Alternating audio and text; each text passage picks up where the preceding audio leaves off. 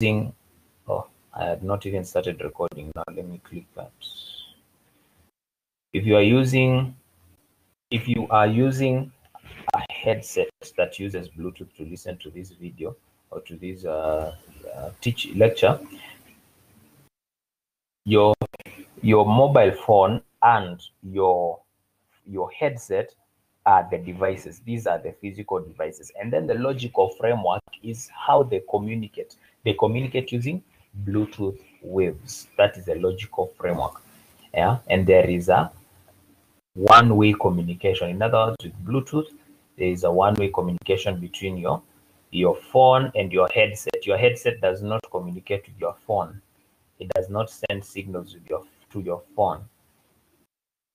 So there is one-way communication. So the logical framework, how the communication works. So remember, a cell is the geographical unit within which communication between mobile devices occur. And a cellular network is the combination of physical devices and the logical framework that facilitate communication of devices within that cell. All right. Okay. Then uh, the third definition that we need to have is a frequency. A frequency. A frequency is a path of communication through which a signal can pass through. A frequency is a path of communication through which a frequency can pass through. So we are going to talk about uh, cells, cellular networks, and frequencies very, very much. So it is important to make those definitions very clear. A frequency is a path, a single path of communication through which a signal or signals pass through. So a frequency is like a road. For you to be able to go somewhere using your car or a public uh, service car, you must be able to pass through a road. A road, a car does not, a car does not uh, travel in the air; it travels on the road. So the road is the frequency or the lane. The lane of that road is the frequency. Yeah, the the and it's, you are the signal. You are the one being carried. So you are the signal. So a frequency is a path of communication. It's a path of communication through which a signal or signals pass through in a cell or in between different cells. So those are the three definitions that are very, very important for you to know, that are very, very important for you to know. Okay, now moving on.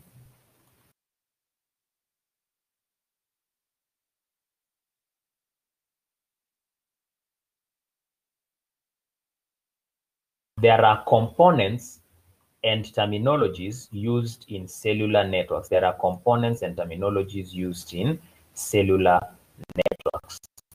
Now, there are these uh, terms that we are going to discuss what they are in cellular networks. Number one is a cell. Again, we have said that a cell is a geographical unit of a cellular system, or a cell is the geographical unit within which mobile devices communicate. Now, we have said again that in this topic we're going to discuss about radio cells, cells of mobile mobile phones. Okay, cells of mobile phones, not Bluetooth, not any other.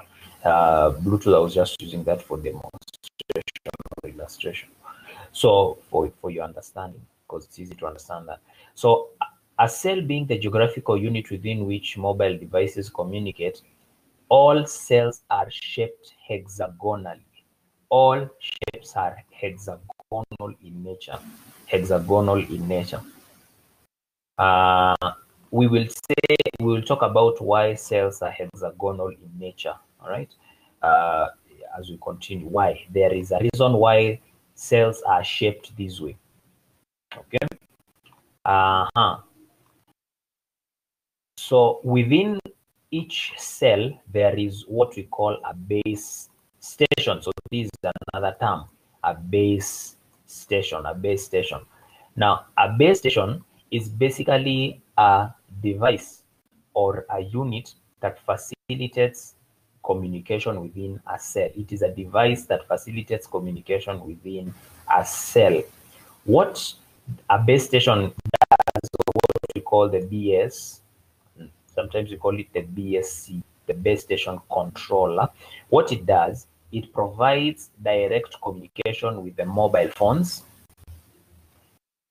For instance, there may be a number of base stations that are linked to a base station controller. So this unit acts as a small center to route cells to required base station and also decides which base station is best suited to a particular cell. But uh, briefly, simply what this means is that a base station or a base station controller, they are these, these are alternative terms, a base station or a base station controller. This is a, a center that contains devices, high-end devices that are normally managed by telecommunication engineers. Yeah. So uh, normally you will find, for instance, if Safaricom, Safaricom they have a they have this we call antenna towers. I think you know them antenna towers where kuna antenna. Yeah. So that tower inside it, there are some set of devices that are normally there and they are managed. Those set of devices that are there, one of the those devices is called a base station controller. Now, an antenna, the work of an antenna uh, in a radio network like uh, Safaricom network, let's say, the work of an antenna is basically a control center for communication within a cell. Now, something you need to understand is that a cell is a geographical unit, but that geographical unit is not marked physically. It is not marked physically. For instance, an antenna can serve a radius of 10 kilometers. All right. It can serve a radius of 10 kilometers all round. Now, that coverage area of 10 kilometers all round is what we call the cell of that antenna. It is the, the geographical unit of coverage. In other words, the antenna can only facilitate communication for mobile phones within that particular coverage area or within that particular cell. So the antenna station or the antenna tower, one of the devices within that place yenye waona kwamba it's called a base station controller. One of the devices there is called a base station controller. Now the main work of the base station controller is to facilitate connection between mobile devices within that cell. And it does that by offering frequencies, paths through which uh, cells can, through which uh, devices can communicate.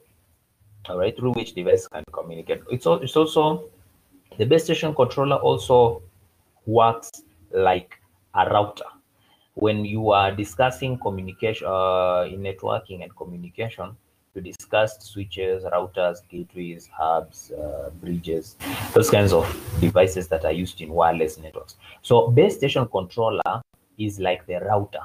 It works like the router of it works like the router of a, of, of that cell. It works like the router of that cell. And what is the work of the router? Somebody to tell us what is the work of a router, a normal router in a in a network. What is the work of a router? What is the work of a router?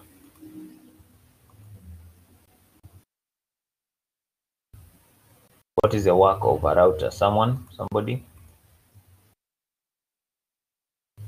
Kipkoech, Lucy, Warren. What is the work of a router in a wireless network?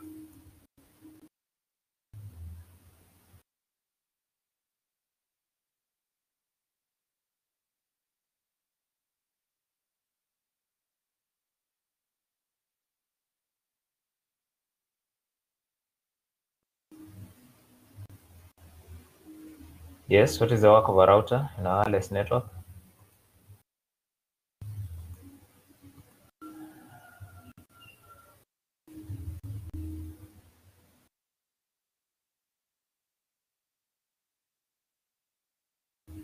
Forwarding data packets between computer networks. Yes, interconnects two or more networks. Yes, that is true.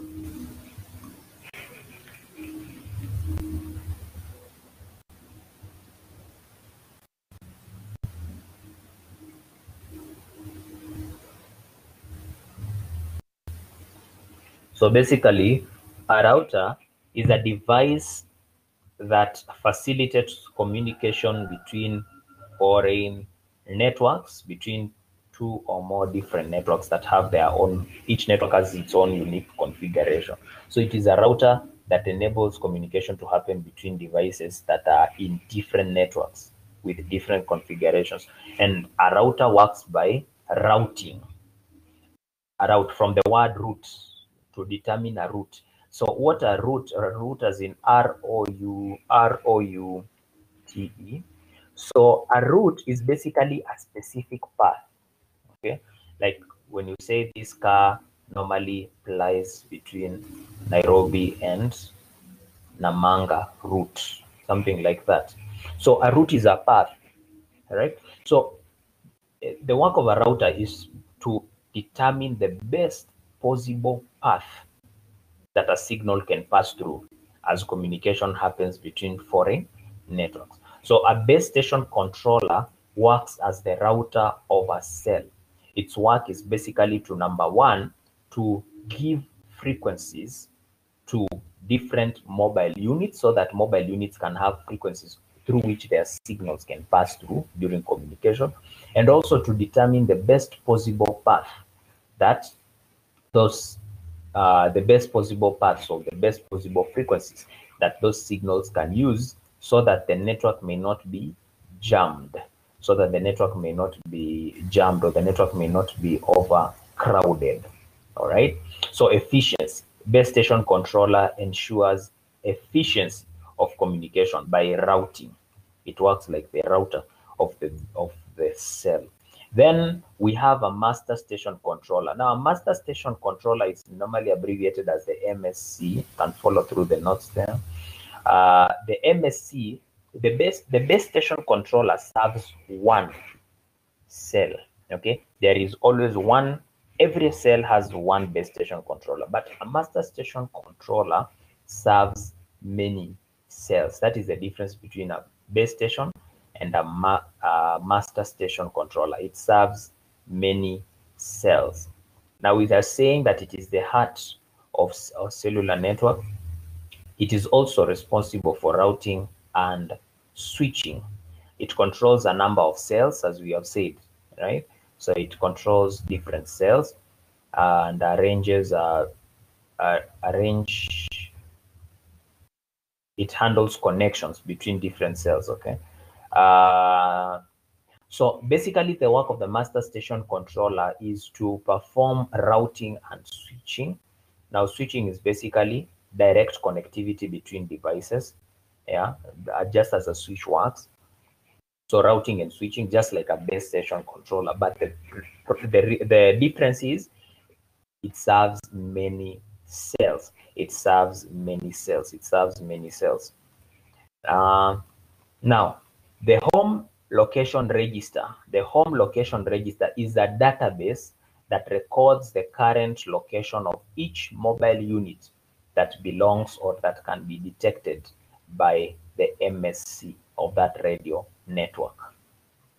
So again, it is a database. The home location register is a database that records the current location of each mobile that belongs to the MSC. So the home location register is a database within the MSC. So the MSC is basically a computing, is a computing device.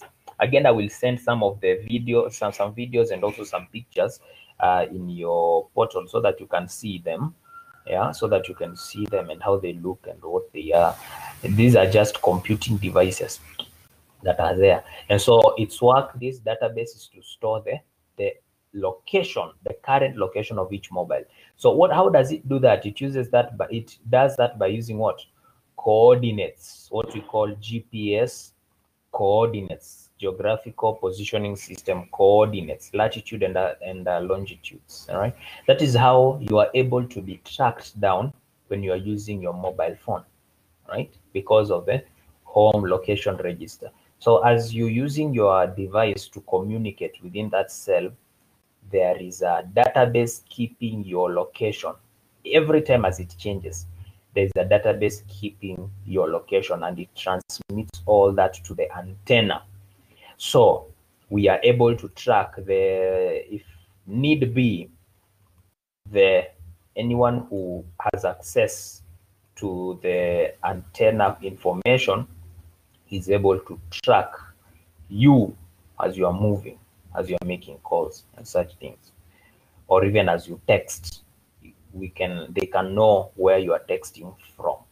So that is very very important, especially for well, number one is basically just to monitor how many devices are in a cell within a particular time or which particular region has many cells. So utapata like uh, if it is in town, there is a particular section of town that has more people and uh, there is a particular other another section of town within the same cell covered by the same antenna that has lesser people. So within a 10 kilometer coverage kuna part kuna part within that 10 kilometer like uh, place ya 2 kilometers there is a lot of mobile phones within that particular place because probably there is a stadium there are people watching a game or probably uh, and people are making calls or probably there is a building or many buildings where people work there. So there are many people making calls and receiving texts and such things. So you find that uh, actually Safaricom can know where you are because of the home location register. So your mobile phone is identified, your Safaricom your Safaricom line is the one which is being detected. It is not your mobile phone, it is your line, your subscriber line, okay? It is, it is your subscriber line which you can. That is why when even thieves steal phones they don't throw away the phone they throw away the, the line because it is a line that can be detected. The, lo- the location of that line can be detected. The location of that subscriber can be located. So the home location register is is a database that stores the current location a mobile phone user at any given time within that cell. And a home location register, that, that database is within the MSC, not the BSC, within the MSC. Moving on. A visitor location register is a database that records the visiting location of each mobile. Now, sometimes within within a cell, you will find that there is uh, mobile units that are moving in into a cell. There are mobile units that are moving into a cell uh, every time. They are not. They don't belong. They don't belong to that cell. Okay, they don't belong to that cell. Now, for instance, if I work in uh, if I work in Ruiru and I stay in Ruiru, every time that I go to work, probably within, let's say, you know, five kilometer coverage, if I cover five kilometers, there is a possibility that I am within a cell. I am within one cell, depending on where the, my nearest antenna, the nearest antenna that is nearest to me is. All right. So I will be within a cell. Now, so that means that I may be operating with I may be operating within a cell every time from Monday to Friday as I go to work. So even when I'm in my house, I'm in the same cell. When I'm in when I go to work, I'm in the same cell. When I'm traveling to work as I'm in the car, I'm in the same cell. Okay. So uh, but it may happen that I will be moving from, for instance, from Ruiru to town at some point. Uh, if I move, make physical, if I make physical movements from Ruiru to town. So when I I am moving from Ruiru to town, in between from one place to another, I may be moving across different cells. Okay, across different cells. So because I don't belong to those cells every day, I'm not by frequency. By frequency, frequency I mean number of times. By frequency, I, I don't belong to those foreign cells. When I enter a different cell, when my mobile unit my subscriber is detected to have entered a different cell, then the location of my mobile unit is also included now in the master station controller, but it is not included in the home location register. It is included in the visitor location register because I normally do not, I am normally by frequency not in that cell. Okay, I normally rotate within a particular cell. So within the cell that I normally rotate within by frequency, I am always in the home location register. Okay, Uh, it can detect me where when I move my coordinates. But when I enter a different cell, then I am recorded. My mobile phone unit, my mobile subscriber unit, my SIM card is recorded in the visitor location register. I am a visitor in that cell. So that is what a visitor what a visitor location register does or what it is. Okay.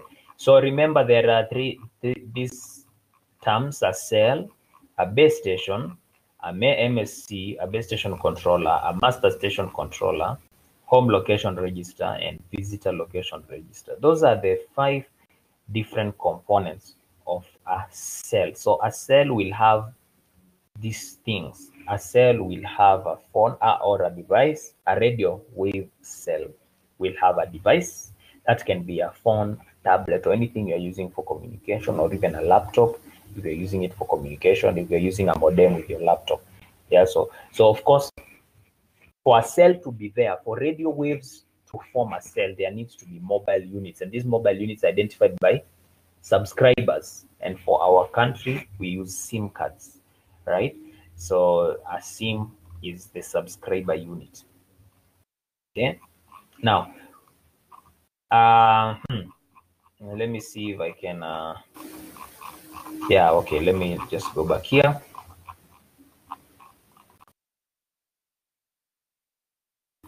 Let me now go to. Let me now go to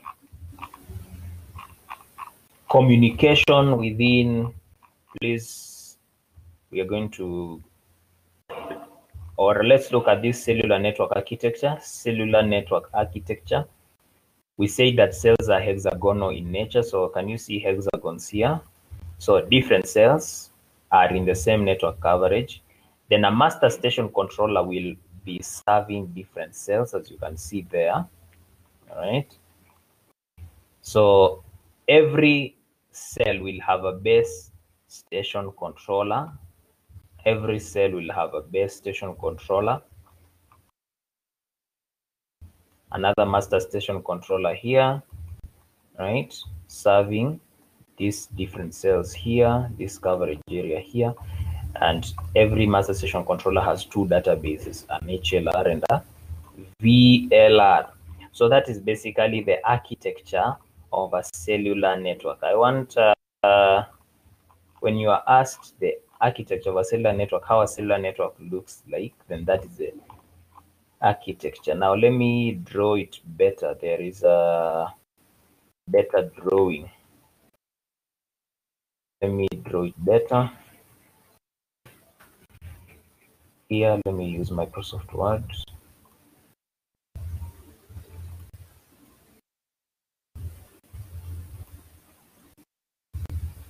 So let me stop sharing that.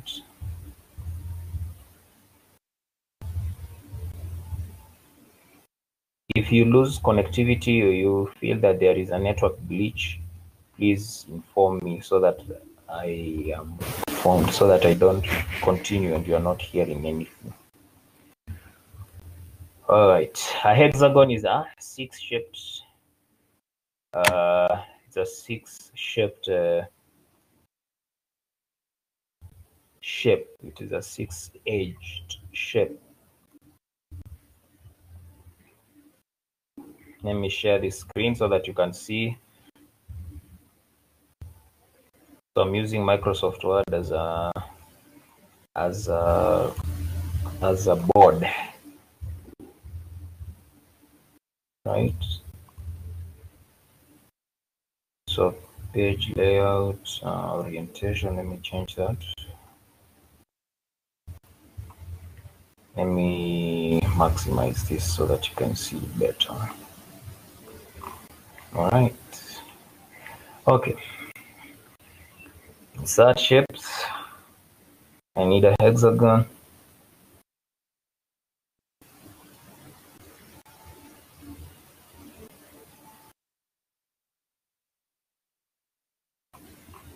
Oh man. Let me see.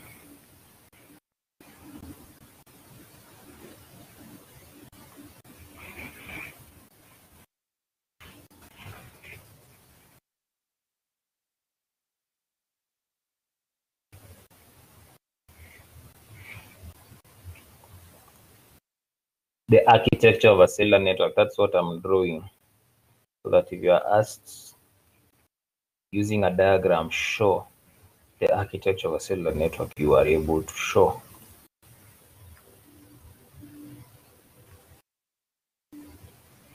All right, here it is. How comes I was not seeing it in Microsoft Word?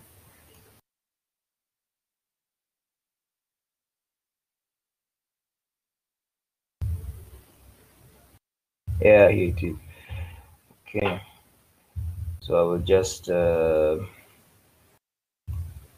format these. I will remove the fill so that it can just look like that. All right, so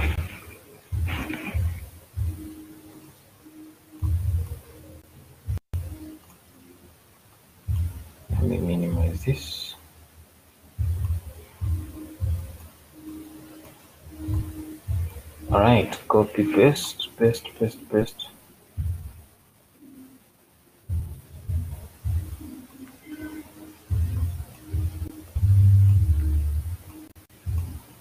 Okay, so right, so when you combine that that way, it looks like that.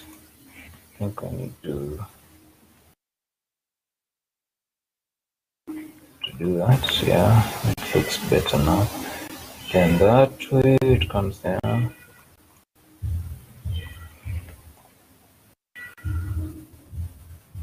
No, no, no, no. Yeah. Then I will fit that there. All right. So instead of uh, drawing this again, I will just group them so that group so that they can appear as one. So group them, group them together, and then I can paste it. Right. So there we go. Okay. All right. So these are two different cells. Each cell, each cell is going to have going to have a master station controller. So right, so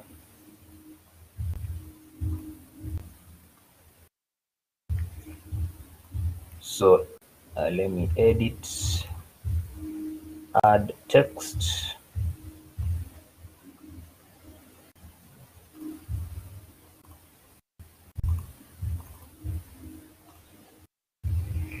so this is the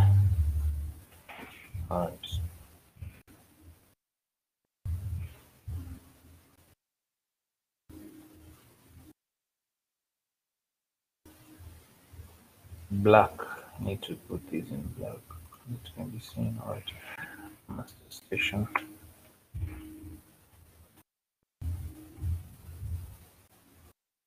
MSC the MSC contains what and what? The MSC contains home location register and visitor location register.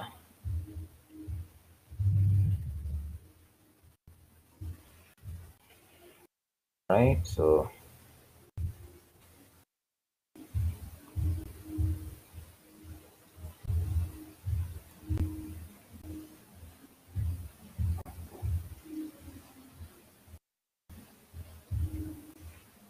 to copy this and paste it. Right so one is served by another. So this one is served by this one. Uh-huh. That is served by that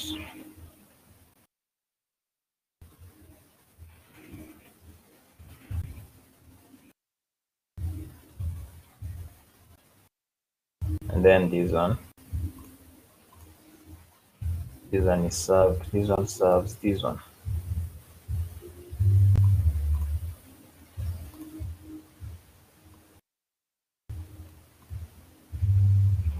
So this is let me rename this. So let me ungroup them so that i can rename. So like this one, I'm going to Uh, text.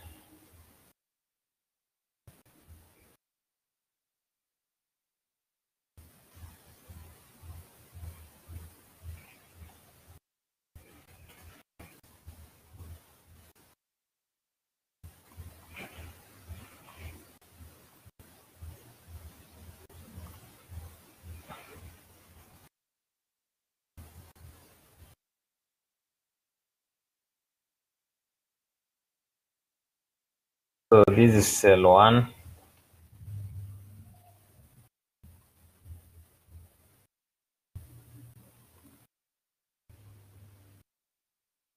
This is cell two.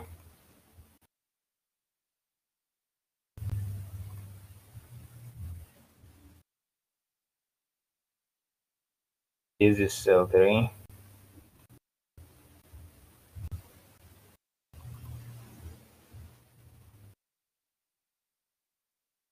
Four.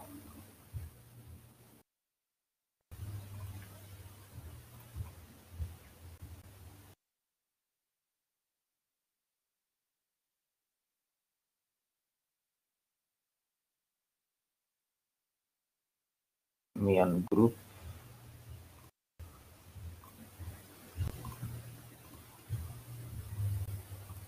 This is one lesotho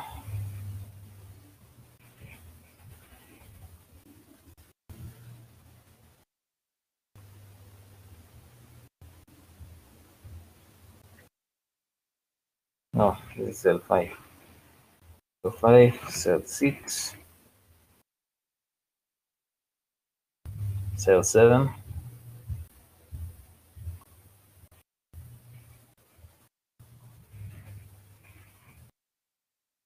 late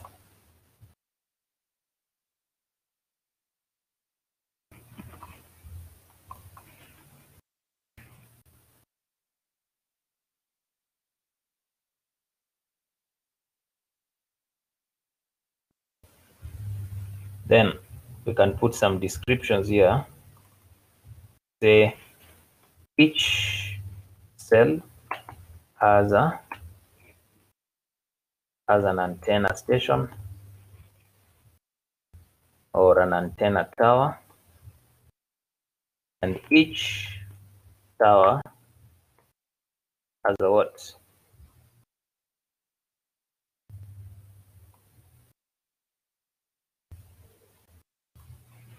Oh, let me just do it using diagrams. After all, we are drawing the diagrams. All right, so copy and paste this. I will. All right, so copy paste. This diagram use is um, showing. I'm using it so that you can show there, so that I can show the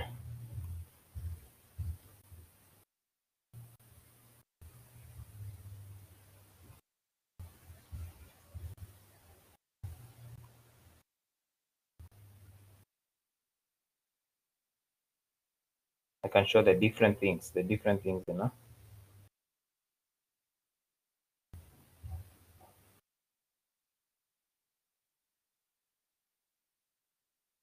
In a cellular network.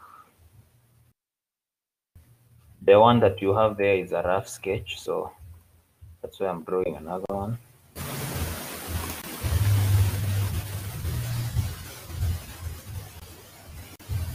One, two, how many of these? One, two, three, four.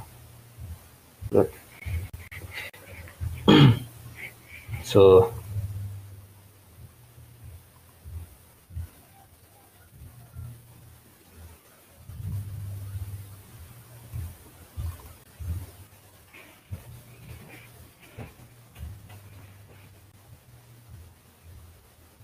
so best all right let me change this to nine base station controller one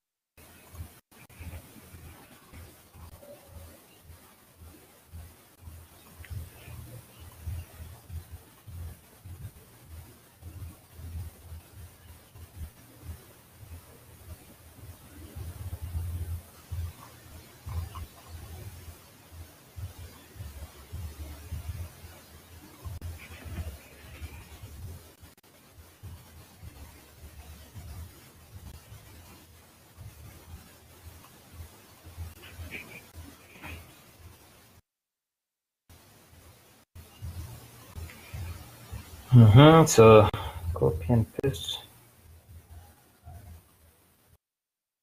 Here's another base station controller. Here's another base station controller. Here's another base station controller. Then has a base station controller. Alright, so going to have this.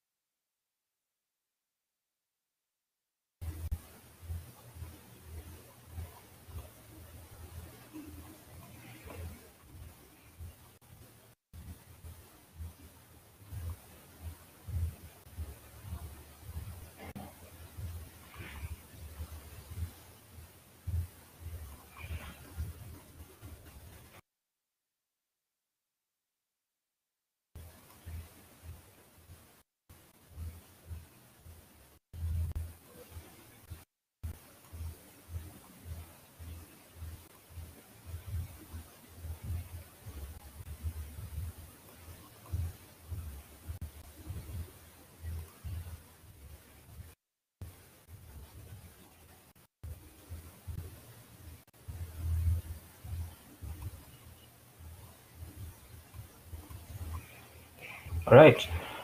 So that is the architecture. Is the architecture of uh, cellular network.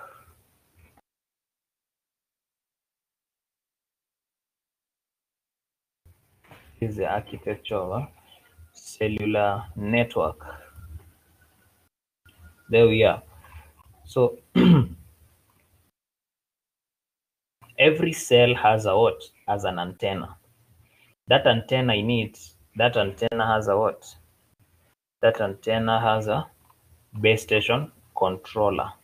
All right. And the work of the base station controller is to perform routing of of frequencies so that uh, as the mobile devices between the different networks, between the different mobile devices that are emitting signals, those signals can have channels or those signals can have frequencies through which they pass. Yeah. So base station controller is the is the heart of a cellular network. It is the heart of a cellular network. And that base station controller is contained in a what?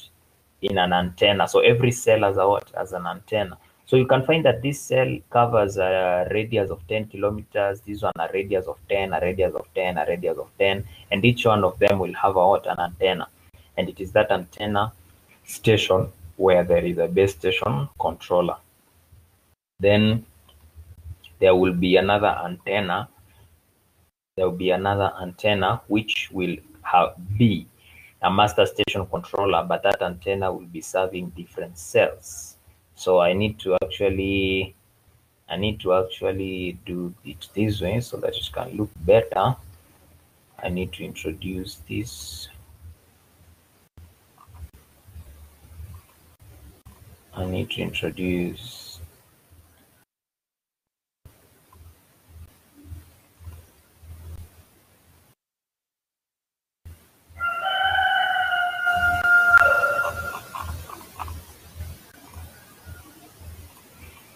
So I need to introduce this so that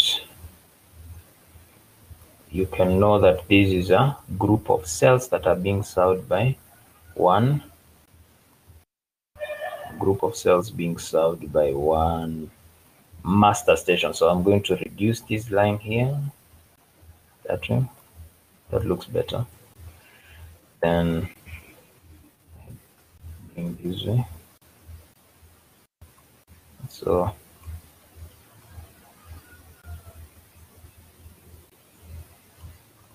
that way. So different cells are being served by one master station controller. So I can call this master station controller one, this one master station controller two. That way. Yeah. Right. So that is a network. The how a cellular network looks like now. how does communication work within uh, a cell? How does communication work within a cell? Just a minute, I refresh this page. You are currently the only person in this conference.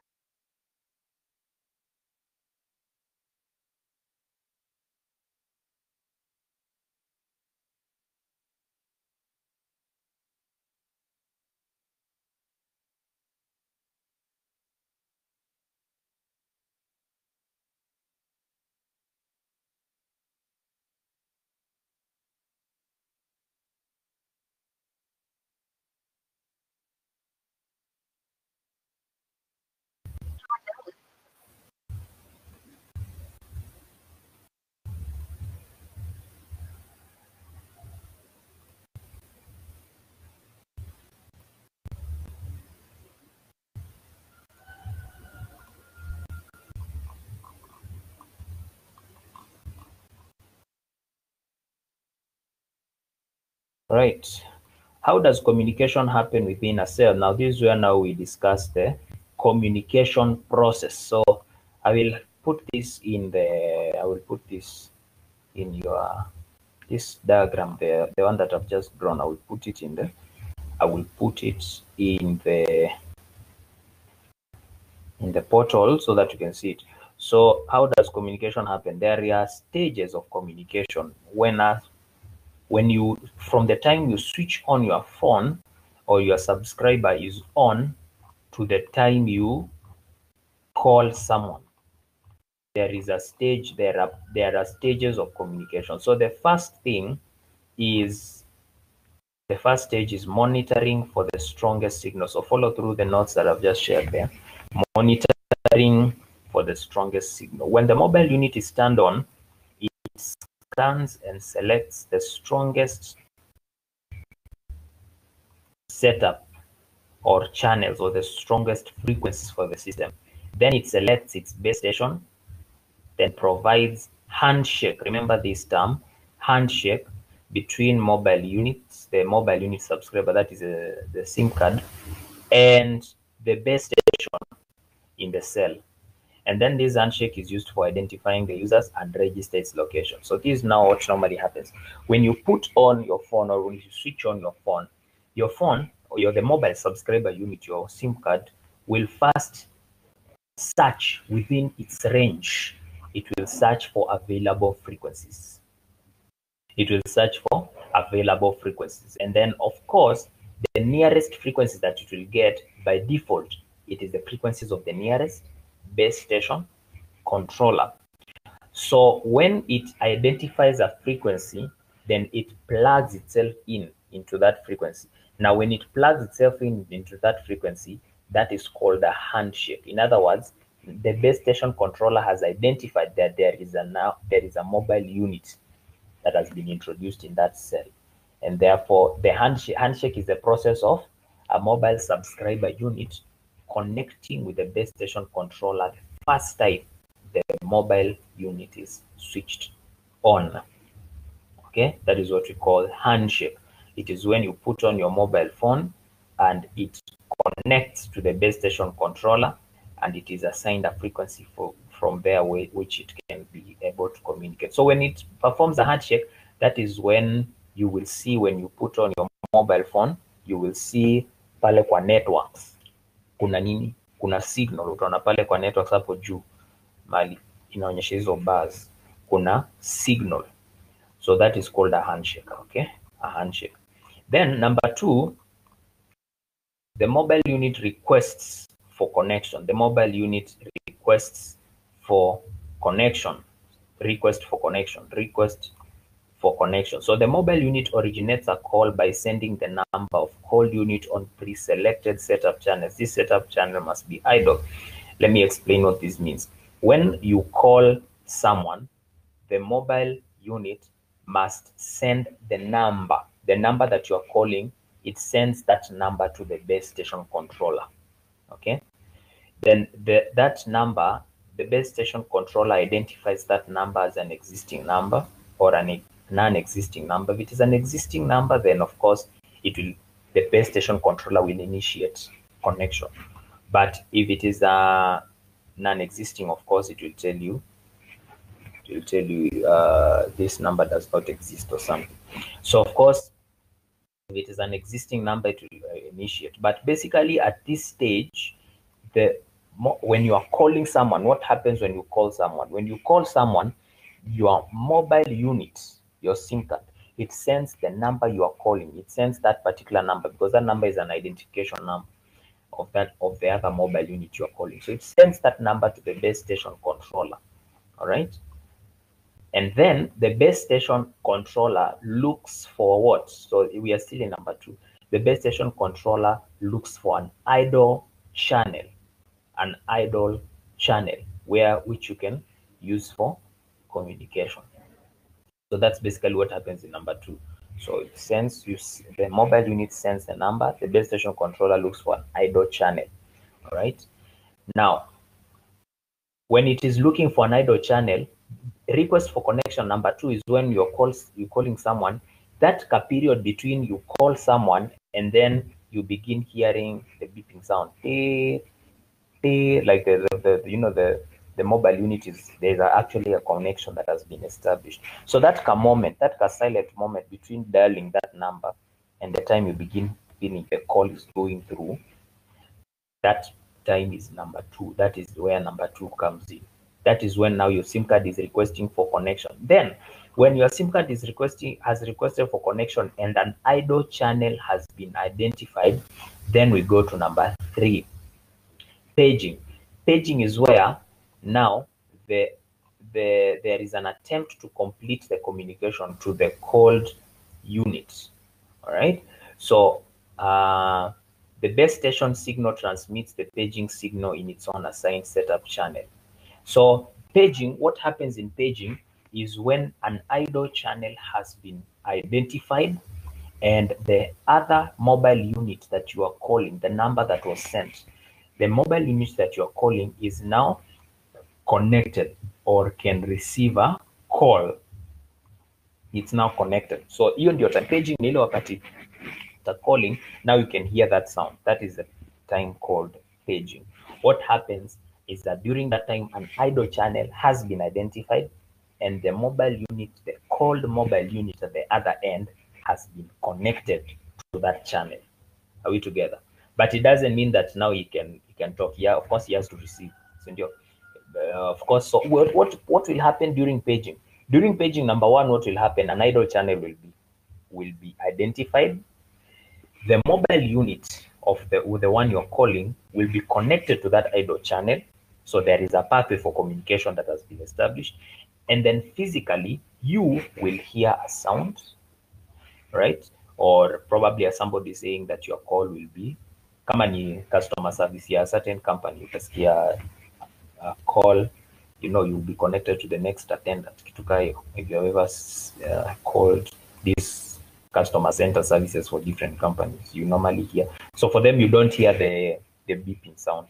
You, you hear some kind of music going on, and uh, probably a, a sweet talking lady talking there. Yeah, and then at the other end, they will be seeing or hearing a call they will be seeing or hearing a call. So that's what happens during paging. So if I ask you what happens during paging, logically, uh, logically, now this is for you, the ICT person, logically, the connection, an idle channel has been established and the mobile unit at the other end can has been connected to the to the idle channel. You and the mobile unit that you have called there, you have been connected to the idle channel. So what is the evidence of that?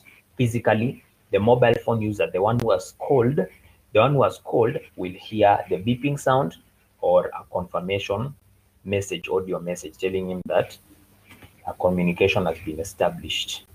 Yeah.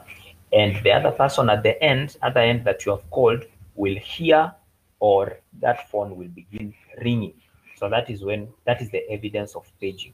Okay, you the caller, you hear a beeping sound or a confirmation audio message, and the other person will hear ringing or vibration or whatever that signals that their phone is calling. Somebody is calling over a line. There's somebody in the line. So that is what is called paging, a communic a channel, an idle channel has been identified, and you, the caller, and the callee, you have been connected to that idle channel.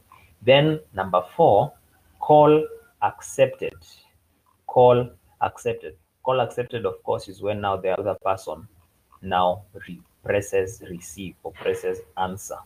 All right. So when you press answer, what happens during call accepted?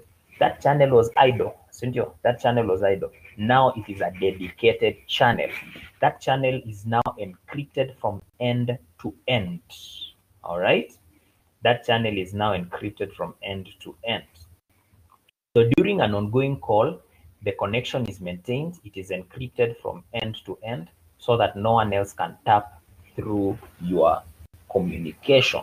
No one else can tap through your communication. It is encrypted from end to end. We during an ongoing call, we say that that channel is now dedicated. Okay, it was idle, but now it is dedicated, right? Because there's a back and forth communication happening within that channel. Uh, it is dedicated. Now, that channel becomes idle again, or it is released when one of you does what? when one of you terminates the call. When one of you terminates the call. When one of you terminates the call. All right. So that is uh, basically from the time from the time the you switch on your SIM card or switch on your phone so that your SIM card can be on to the time you call and the time you talk to the time you call and the time you talk. So number one, you request for connection. Number two, uh, number one, you monitor for the strongest signal. Number two, request for connection. Number three, paging. Number four, call accepted. Uh, Number three, paging. Number four, call accept, accepted. Number five, ongoing call. Then there is this called handoff. Handoff is a topic on its own. Okay.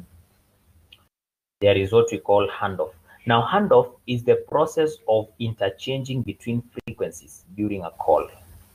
It is a process of interchanging between frequencies during a call.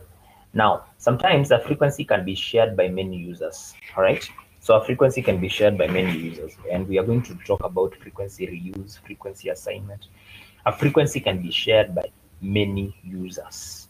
So if a frequency is attaining threshold or a frequency is reaching maximum number of users for that frequency, then the base station controller must have a mechanism by which it exchanges you or one of the users to another frequency in a seamless fashion that the user will not even notice that they are in a different frequency. There will not be a termination, there will not be a delay.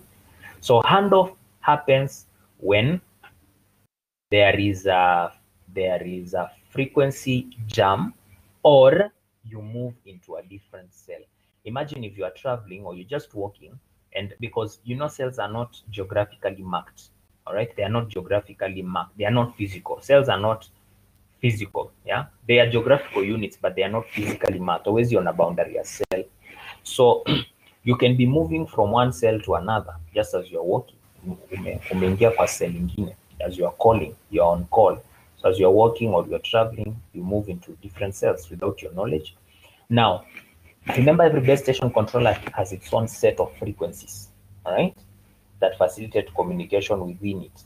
So if you move to another base station controller, what that means is that you are moving into another frequency coverage. Yeah, you're moving into another frequency coverage. So the base, the new base station control of the new cell you have entered must be able to support your call because you have moved from another frequency. You have moved into its frequencies, its, its frequency coverage. So the process by which the previous base station controller mali umetoka, ile cell umetoka, it exchanges your frequency or it hands over control of your frequency to another base station control of the new cell where you've entered. That process of interchanging frequencies or handing over control frequencies is called handoff.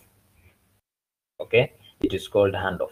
So as you are calling, as you are calling someone and you walk from one cell to another, you have moved then from one frequency coverage to another frequency coverage. So that means that control of your frequency needs now to be handed over to the next to the cell you have now entered. And this is the base station controller that does that. And that process of handing over control frequencies from cell to cell is called handoff. All right. So that process of handoff works seamlessly. You, you can't hear.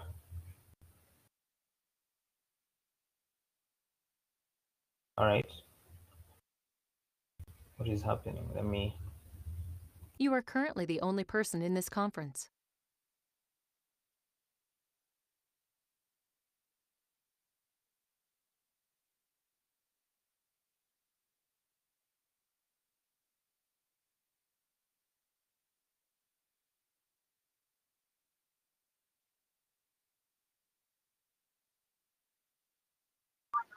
All right. Where did I lose you? Where did I lose you so that I can repeat?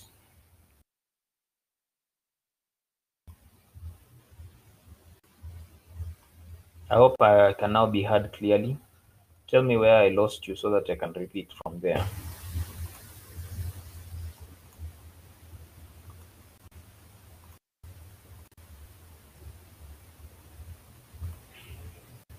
Where did I lose you?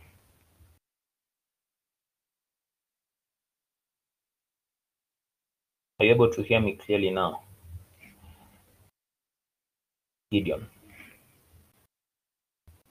Apart from Gideon, anybody else has been hearing me ama Gideon pekee ndio hakuwa anasikia?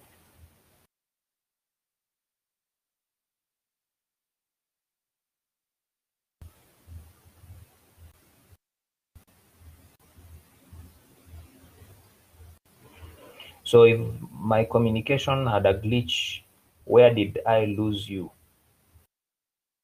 Where did I lose you?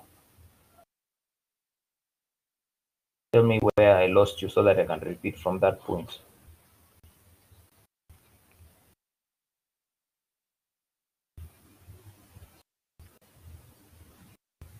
You are currently the only person in this conference.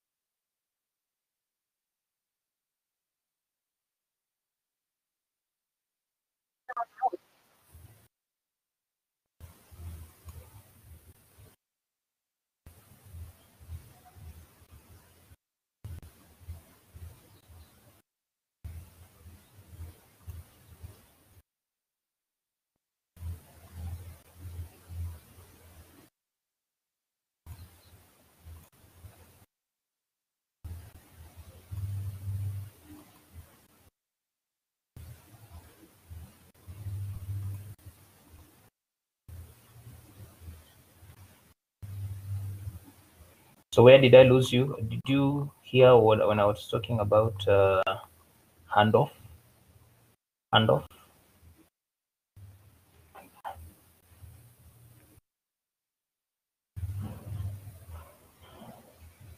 Right, let me repeat handoff, probably for those who lost me on somewhere. Uh, so we said that handoff is a process by which uh, the control of frequencies handed over from cell to cell or from BSC to BSC when a caller moves from one cell to another because every BS base station controller has its own frequency units, frequency coverage.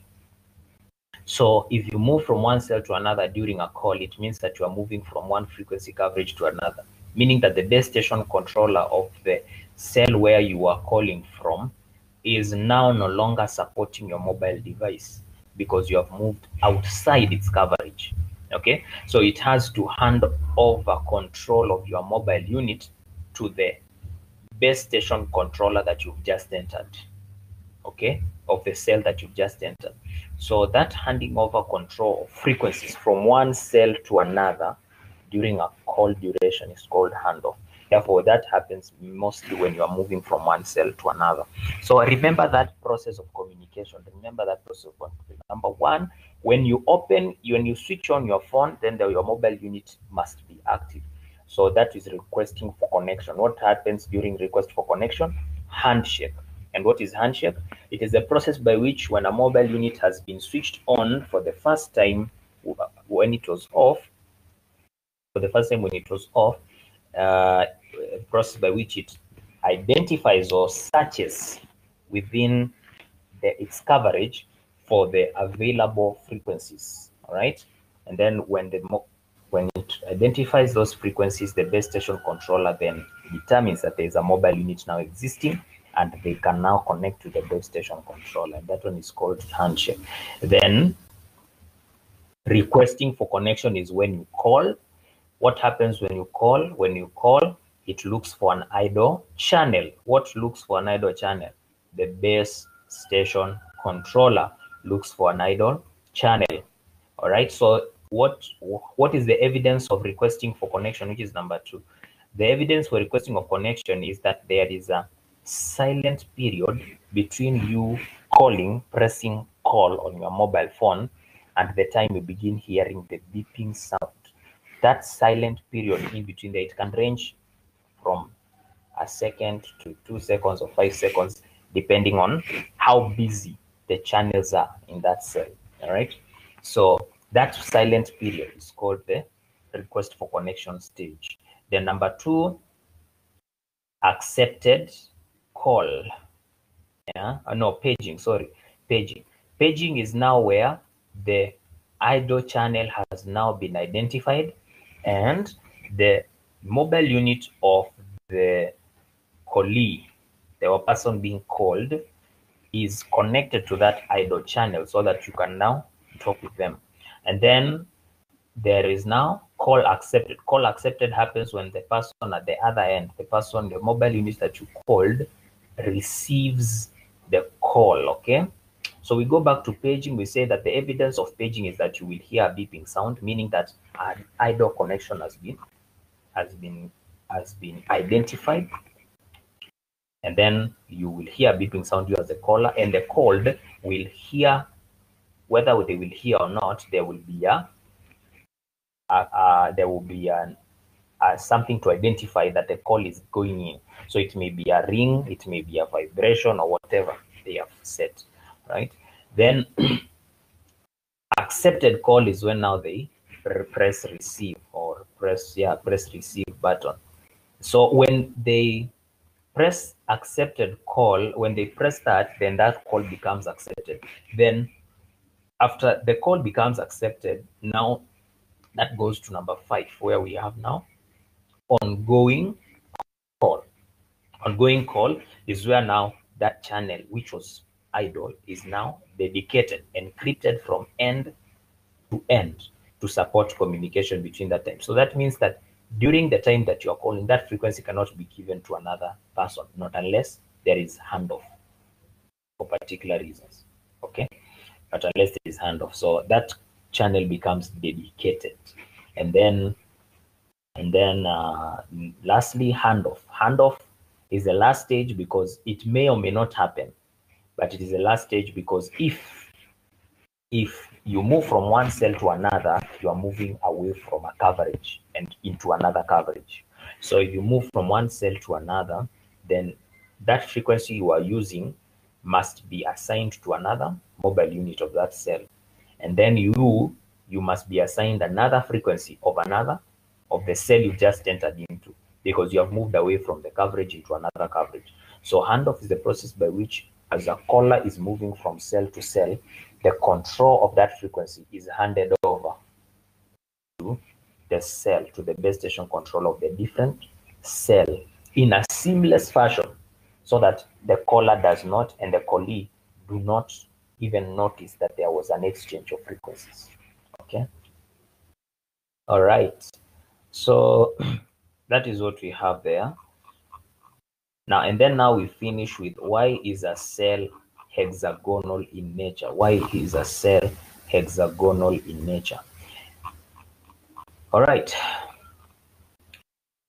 We first say that a cellular system is divided into regular shaped cells. Okay, those cells are regular shapes.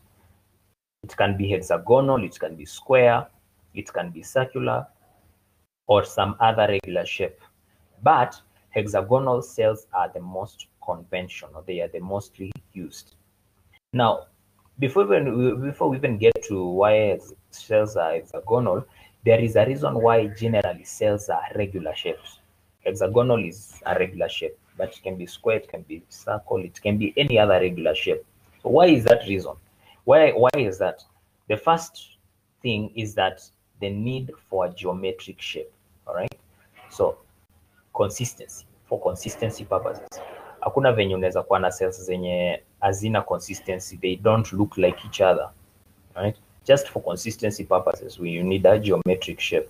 Then the other is that there will no there will not be an area with overlap. And also there will be there will be maximum coverage within that cell.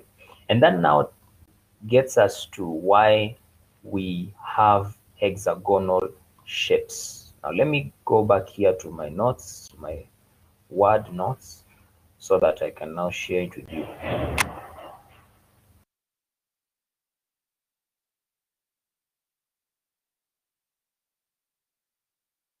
I hope Gideon, you are with us. Gideon, are you offline or you are just still there?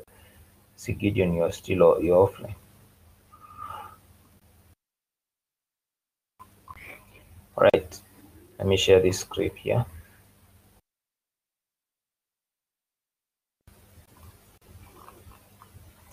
So why are cells hexagonal in nature?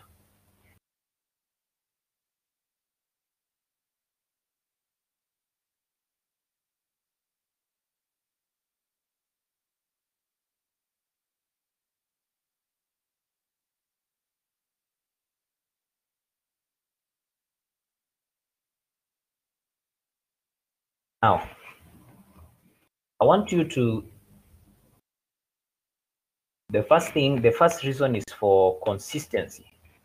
Consistency in the different cells. So we don't have a cell that is bigger than another or another cell that is uh, looking in a cartoon, a shape that is not, is not what?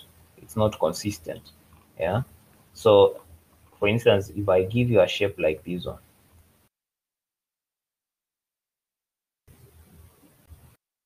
look for a shape. Now look at that shape. That shape is not consistent. In fact, uh, when you look at this shape, you'll realize that if we place an antenna in between, for instance, let's assume this is a cell that is shaped this way. If we place an antenna in between, somewhere in between, you know the radius from this point to this, from this point, from this point, from the farthest point kwa hapa to the antenna yenye katikati is not equal with the radius from here to here, right? So there is those consistency issues. And because of consistency issues, we don't use irregular shapes for cells. We use regular shapes. So also, we use hexagonal uh, shape in order to address areas of overlap, no areas of overlap. Now, I want to give you another shape. It's a regular shape, but it's a regular shape, but uh, but it is but it has areas of overlap. Now, let me give you a circle. Ukiangalia hii circle uh, no fill. Then let me have uh, let me have another circle. I copy and paste that. So assuming that these are cells, okay? So angalia kama hii ikuwe hivi. And then kama ikuwe hivi. Yeah. So if these are cells, these are two cells. This area here, this area here, hii area yenye iko katikati, it's a, it's a what? It's an area of overlap. An area of overlap. Now, what is the issue about overlaps? Overlap frequencies overlap, right? That is as simple as that. Overlaps cause frequencies to overlap. And when frequencies overlap, there is what we call frequency interference. Frequency interference. Frequency interference. So hii cell iko na antena yake, cell iko na antena yake, cell iko na antena yake. Na cell antena yake ikiwa hapo katikati, the coverage is from the antenna itself to the farthest point. Okay? To the farthest point hapo. Na pia hii iko na antena yake yenye coverage iko from the from the from the center from the middle to the farthest point. Yeah from the to the farthest point there. So unapata hapa katikati there is a what? An area of overlap mahali kuna frequency ya e cell na frequency ya e cell. Frequency ya e cell na frequency ya e cells na meet up. So that is an area of overlap and that will cause interference. So normally when there's an area of overlap you will hear what we call ama n- not hearing but there will be what we call radio noise okay? Radio noise. I hope that you are putting this you are following. There's what we call radio noise. Radio noise when interference there's interference and then actually if you are using your phone you can hear as though there is a lot of shrieking noise that disturbs the ear and you you can the best way is just to withdraw your mobile phone from your ear because of the radio noise okay? That is when it frequencies are interfering okay? That is when frequencies are interfering. And that is also what hackers do when they hack into telecommunication systems yeah? They first cause radio noise the frequency they are using to access into your frequencies telecommunication frequencies they interfere with one another so yours is jammed okay? That is what happens. So this is what is called radio noise and we normally avoid circle especially circle na pia hizi irregular shape kama hizi. We avoid them because there will always be overlaps. Kuna areas zitakuwa zina overlap as cells are arranged around each other. Kuna areas zitakuwa zina zina overlap. Ama let us assume we don't want areas of overlap so you don't want any areas of overlap. So what will happen now is now that is that we are going to have here we are going to have these. so we are trying to avoid areas of overlap okay? But we are using steel circles. So let's try to avoid overlap. There will be another problem that will occur. So we want to avoid overlap so we will avoid so tutaweka hivyo then because we don't want overlap tutaziweka hivyo side by side to each other. And then uh, notice there tumeweka hivyo yeah? And then we are trying to avoid area of overlap usikuwe na frequency interference. Now do you notice that there are now tell me what you notice in that. To may address areas of overlap but there is another problem. Tell me what you notice in that diagram. Tell me what you notice in that now in that diagram. What do you notice? We have done away with areas of overlap but there is another issue that has come. What can you see from that diagram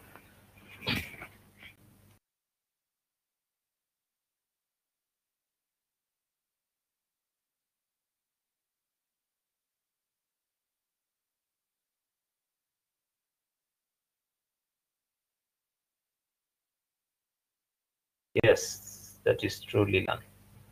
Mhm.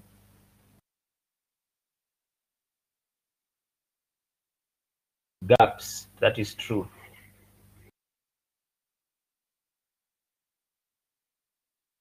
Areas not covered. True. Yeah that is true. Thanks for your observing well yeah. So you see now we have addressed areas of overlap but now we have uncovered areas or uncovered regions. So there are uncovered regions. So these are uncovered regions like this one here. This is an uncovered region. Yeah? An uncovered region. Now this issue is now another issue with, with the, what that makes us to use hexagonal shapes so that there can be no uncovered regions. Now, uncovered regions just means that those uncovered regions, let me ask you now, now that we have discussed uh, base station controller and uh, and and what they do, they offer frequencies for the areas they cover. So what will happen if we have uncovered regions? What will happen to those uncovered regions? Or what will be what will be abnormal about those uncovered regions in the in light of frequencies or coverage?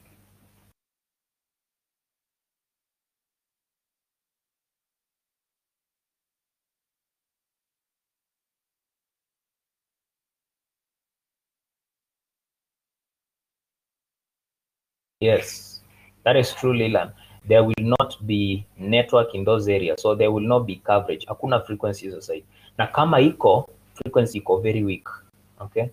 Very, very, very weak. Like unapata ni baa moja. Yeah? Like ukiangalia phone yako ni baa moja. Something like that. So there is no coverage in that area.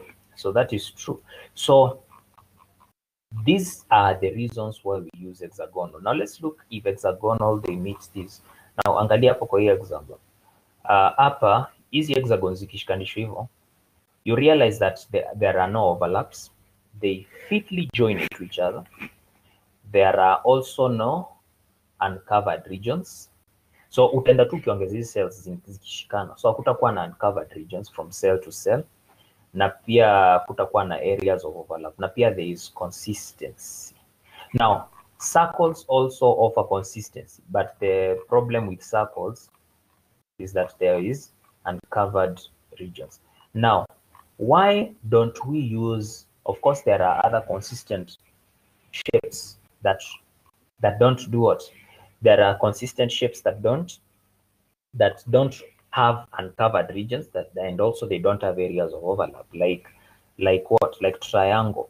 Triangle haina areas of overlap na pia itakuwa na na uncovered regions. So tukiangalia triangle let's see tukuwe na triangle tuone.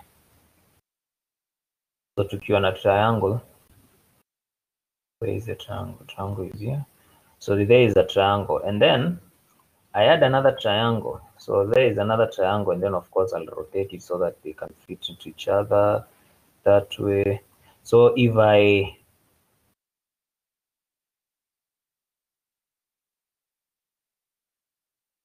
those can fit there perfectly without what?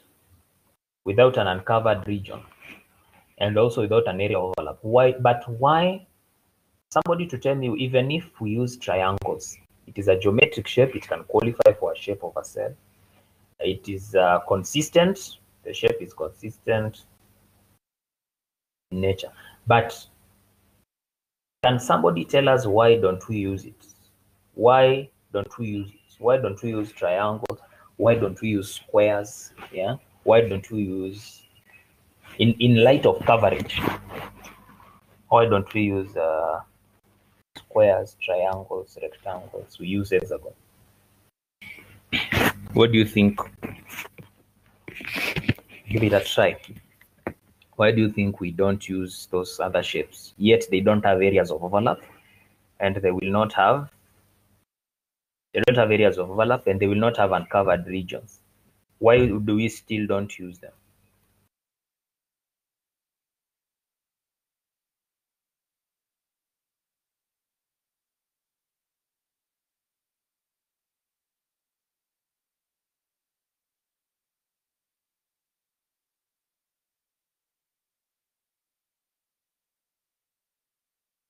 They will require more cells to represent. Nice try, but uh, that is not it. You can try again.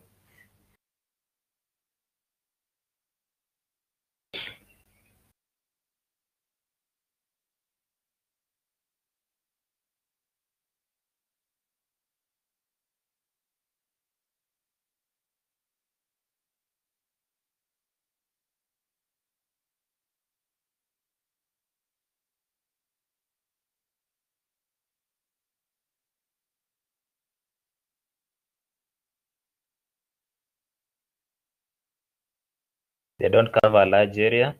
Nice try, but not yet there.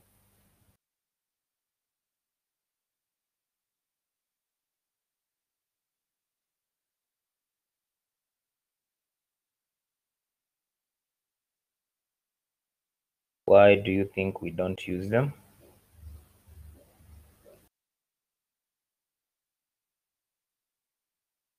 The distance from the center and the middle of a shape like a triangle is more. True. That is the that is the reason. Leland. That is the reason. The distance from the antenna. Now the antenna is normally the center and the edge. Yeah. True. The, the antenna is normally placed in the middle so that the antenna can cover a radius. Okay. The antenna can cover a radius. So uh, ukiangalia hii rectangle ukiweka I mean triangle uh, this is one triangle and one triangle. Ukiweka ukiweka the antenna mahali katikati in the cell. The distance between the edges will be very very very uneven. Some will be longer some will be shorter especially the areas between the center the antenna itself and the hypotenuse. The area between the antenna ikiwa hapo katikati and the hypotenuse this line here it will be short. But ukiangalia the difference the distance between antenna and easy edges na hii antenna na hii antenna na hii kona ni mrefu sana. Okay? So you'll find that the radius is not even so thanks leland that is good. That is a good reason yeah. That is why we use hexagonal shapes. Now do you realize that circles will provide this consistency even better because a circle has a radius that is even all round. But you see now the issue of circle is what? The issue of circle is overlap and uncovered areas. So we go to hexagon. Hexagon at least uh, for instance wacha tuangalie. Hexagon ukieka antenna katikati ya hexagon utapata pia kuna area zenye pia ni mrefu kuliko another but uh, it is not always that way. Kwa sababu angalie hivi let's draw a, let's have a let's have a what? Let's have a let's have a hexagon and then we see. So we let's okay. So wacha tuko na hexagon hapa. So here is our hexagon. We're going to expand it. This is a cell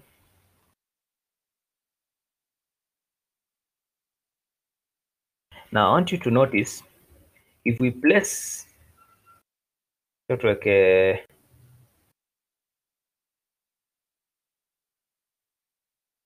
small thing here let's say this is the antenna. Let us place such a tuweke fill solid fill so tuseme hii ndio antenna so hii antenna tutaweka hapo. Somewhere there. Now if we draw a line to show a triangle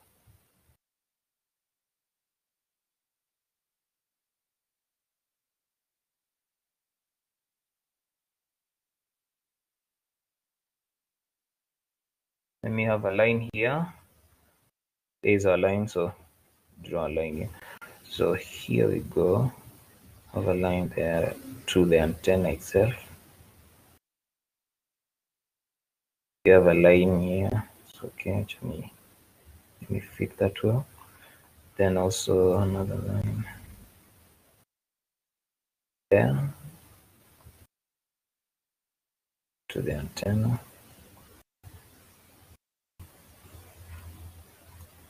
Now we know from the laws of geometry that when we have uh, this is called a, what kind of rectangle? A triangle. It's called uh, isosceles. It's called an isosceles triangle.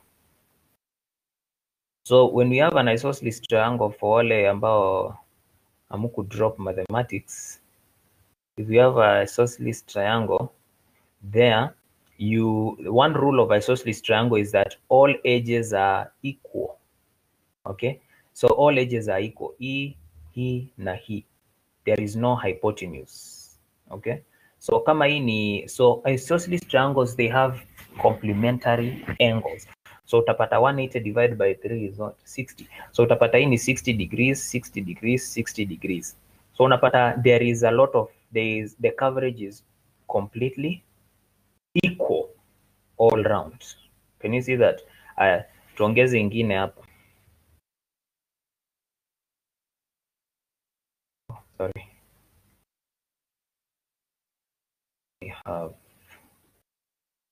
if I add another near I form another isosceles triangle. Isosceles triangle. Find that all edges are equal in length. Yeah? So this this length here is equal to this length here and this length is equal to this length here. So there is that uniform coverage. So we can actually say that there is a radius. Yenye itakuwa na a small difference. Itakuwa very very small difference. Itakuwa from here like now from here let me draw here and show where there will be just a small difference in radius. Itakuwa from there to here. Okay? So utapata nikitform hivyo so unaona sasa hii ni 90 degrees. Ina meet hiyo edge na 90 degrees. It meets that edge with 90 degrees. And then now this one is a hypotenuse. That is longer si ndio? Na hii ni shorter. Yeah? Ama ni move again hapa. Yeah? So almost inafikia hypotenuse but bado ijafikia it's still shorter than the hypotenuse than this one. It's shorter than this one yeah? So this one is shorter this one is longer so that is only the only conflict that there will be but there are other algorithms put in place to ensure that there is no overlap even in those coverage areas where the the, the distance from the center from the antenna to the edge is different. So there will be mechanisms to ensure that there is no that. But generally speaking ukiangalia every every nini forms a triangle that is isosceles in nature. So isosceles triangles have the same degree. So that is true, Leland Paul, that uh, the reason we use hexagon is because the distance from the antenna, which is at the center, to the edges, the antenna to the edges is equal all around. So it forms a uniform radius. It forms a uniform radius, right? Let me see what else we've got here. So that is what we have before we, I think we can stop at that for today. Uh, any question? Any question or any comment about the class?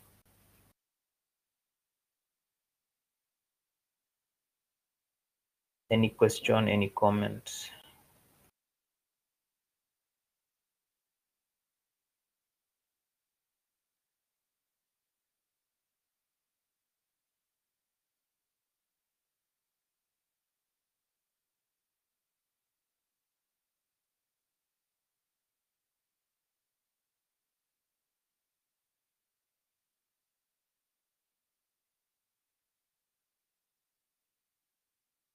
Any question, any comment?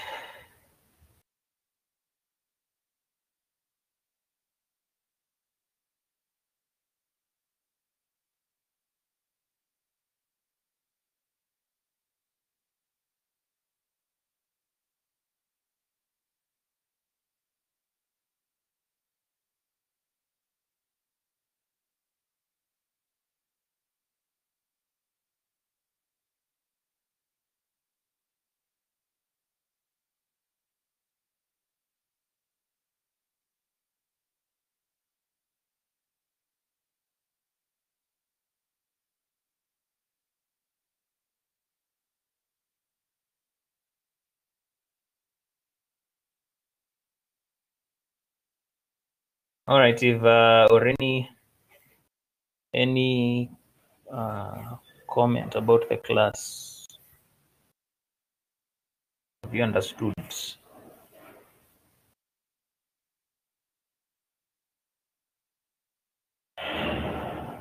So this is an interesting area that we're going to keep on discussing uh, as we continue. All right, so so I'm going to put these lecture note these ones that I've used to demonstrate in your portal so that you can actually see so that you can actually see what you're having there.